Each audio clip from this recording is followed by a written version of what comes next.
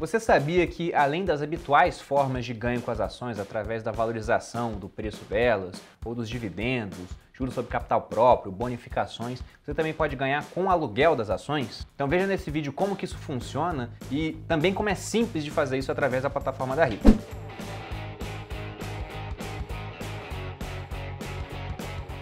E aí pessoal da Rico, quem fala é Bruno Perini, criador do canal Você Mais Rico, e nesse vídeo eu vou apresentar para vocês uma funcionalidade que está há pouco tempo na plataforma, mas que eu acho bem interessante, sobretudo para você que tem uma mentalidade de investidor de longo prazo, que pretende comprar suas ações e não vender tão cedo. Então eu estou falando de uma funcionalidade chamada custódia remunerada.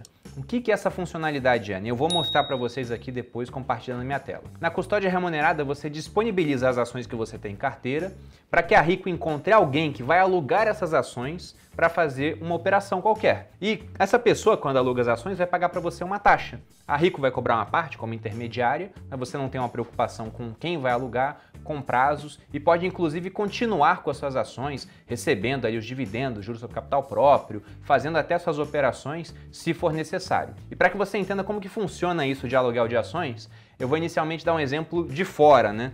Pensando em mercado imobiliário, para depois trazer para o mundo das ações. Acho que vai ficar mais fácil de compreender. Então vamos supor, quem me segue lá no meu canal sabe que eu vivo de aluguel, não tenho imóvel, que eu tô lá naquele imóvel alugado e Estudando o mercado imobiliário, eu percebo que o preço dos imóveis vai desabar na região onde eu estou morando. Seja porque vai ter vários lançamentos de imóveis, ou porque as pessoas estão desempregadas, então o preço do aluguel dos imóveis tende a cair, já que ninguém quer comprar, etc. Então, o que, que eu vejo e faço, né? Como esse preço ele tende a diminuir, eu decido, sem informar o, o dono do imóvel, vender aquele imóvel para depois recomprar mais barato. Então eu anuncio o imóvel, o interessado vem, compra aquele imóvel de mim e eu vou embora.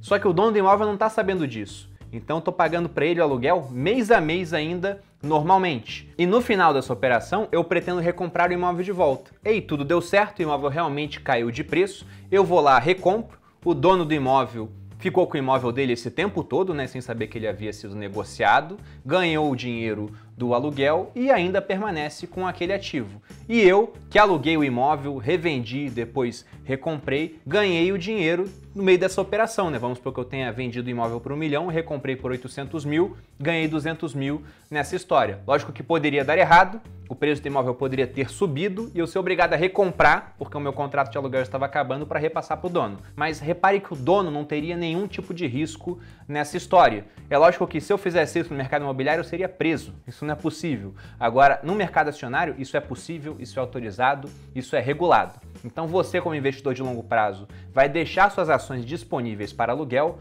e aí um trader, um cara que faz operações ali de curto prazo, que gosta de operar vendido às vezes, ele vai, aluga suas ações, vende no mercado com esperança de recomprá-las por um valor mais baixo, o que pode ou não acontecer. Ele está assumindo esse risco. E você, como recompensa, vai ganhar uma taxa de aluguel de volta.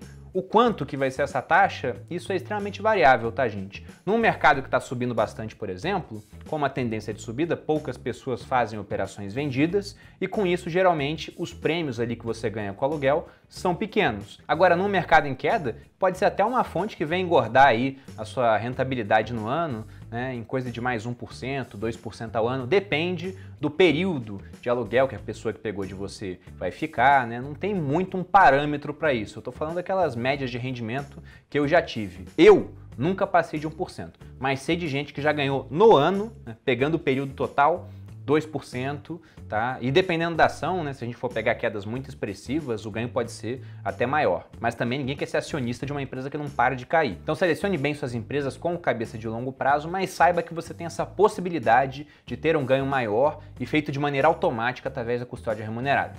E agora para que vocês vejam como funciona. Eu vou entrar aqui, né, já estou logado na minha área exclusiva da Rico, então estou na minha conta, vou descer aqui, vou no menu lateral, e vocês veem aqui que tem custódia remunerada, né? abaixo da aplicação automática, que inclusive já foi tema de vídeo aqui no canal da Rico. Clico em custódia remunerada, aí ele vai me dar uma instrução sumária do que seria isso, né? disponível para clientes que tenham pelo menos uma ação em carteira. Então, a partir desse ponto, você já pode contratar esse serviço.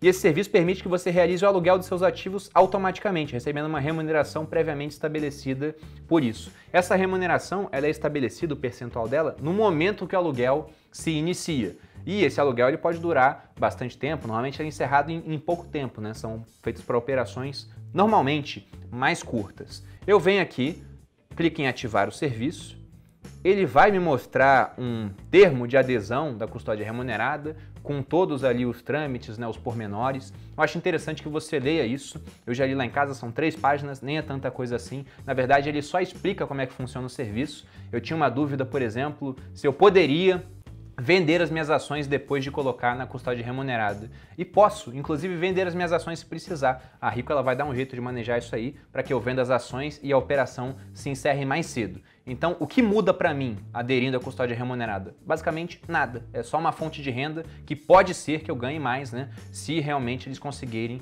é, fechar alguns contratos. E normalmente conseguem porque a bolsa, mesmo quando está subindo, ela vai caindo um pouco também, né? Ela sobe caindo, vamos colocar assim. Sobe um pouco, depois realiza, depois sobe mais um pouco. Então vale a pena. Vou colocar aqui que eu li e aceitei e preencher minha assinatura eletrônica.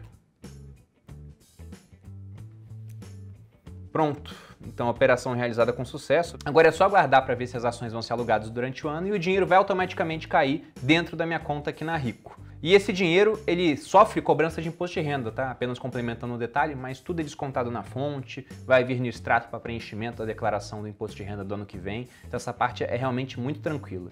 Fica aí mais essa funcionalidade que a Rico está oferecendo, de graça e capaz de dar um dinheirinho a mais com base na sua posição acionária. Se você gostou desse vídeo, deixe seu like, se inscreva no canal e é isso. Um grande abraço e até a próxima.